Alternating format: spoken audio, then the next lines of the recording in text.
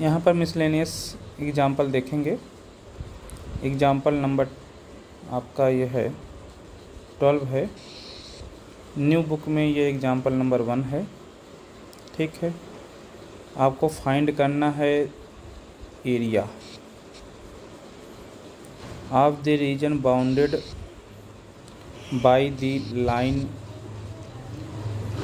y is equal to 3x plus 2 the x axis and the ordinates x is equal to 1 x is equal to 1 ठीक है? ध्यान दें line y equal to three x plus two इस line को draw करेंगे तो line आपकी ये बनेगी। ये देखो हम बना रहे हैं। फिगर में बना हुआ है।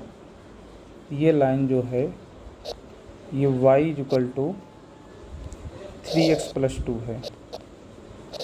y equal to three x plus two ठीक? आपकी लाइन x एक्सिस को पॉइंट ए पर कट कर रही है। पॉइंट ए पर। और इस पॉइंट का जो कोऑर्डिनेट बनेगा minus two comma three minus two upon three comma zero बनेगा। यही बात यहाँ पर लिखा गया है। The line y equal to three x plus two meets x axis at x equal to minus two upon three अब माइनस टू अपान थ्री के पहले आप देखो and its graph the line graph lies below the x axis ठीक? ये जो point A के पहले आपका जो ग्राफ है यक्स एक्सिस के नीचे है, किस इंटरवल में?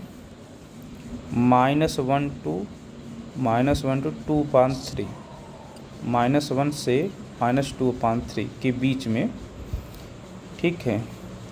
यहाँ से लेकर यहाँ तक। तो यहाँ पर यक्स एक्सिस के नीचे है, ठीक? और माइनस टू अपान थ्री से लेकर वन तक।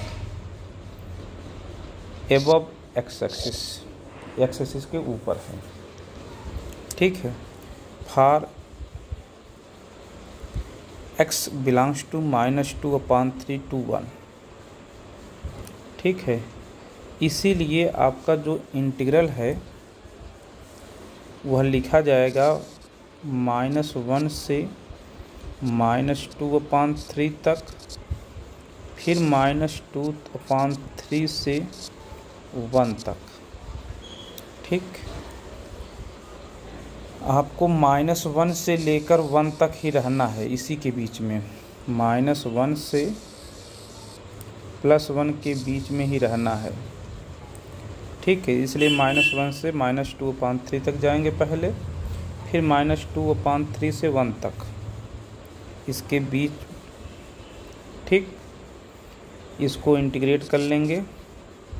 dx इसको भी इंटीग्रेट करेंगे, dx बीच में लगाएँगे प्लस यहाँ फ़ंक्शन क्या आएगा? y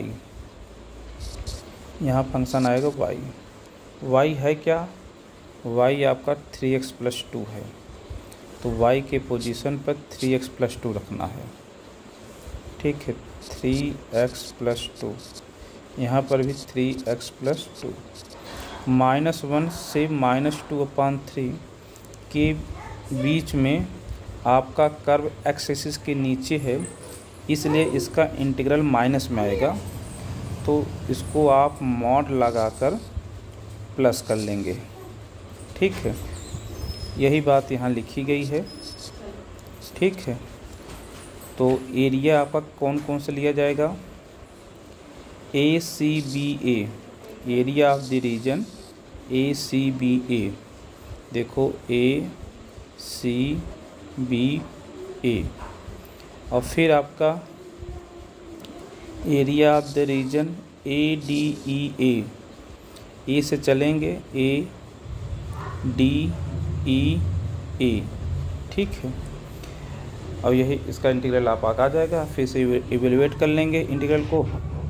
यह इंटीग्रल आएगा, इसका इंटीग्रल ये आएगा इवेलुएट कर लेंगे थर्टीन अपॉन थ्री आंसर आ जाएगा, ठीक? ऐसे ही एग्जांपल थर्टीन देखो। आपका curve y equal to cos x है between x equal to zero से टू पाई कास एक्स आपका, ये एक्स इक्वल टू ज़ीरो की लाइन है। ये x equal to two pi की लाइन है। इसी के बीच में आपको रहना है।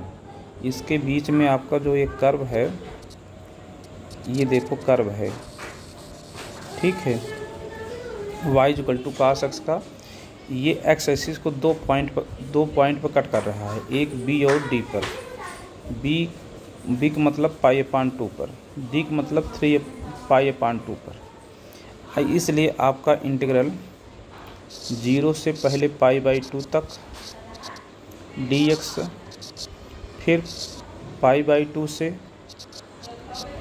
थ्री पाई बाई टू तक, फिर फिर उसके बाद थ्री पाई बाई टू से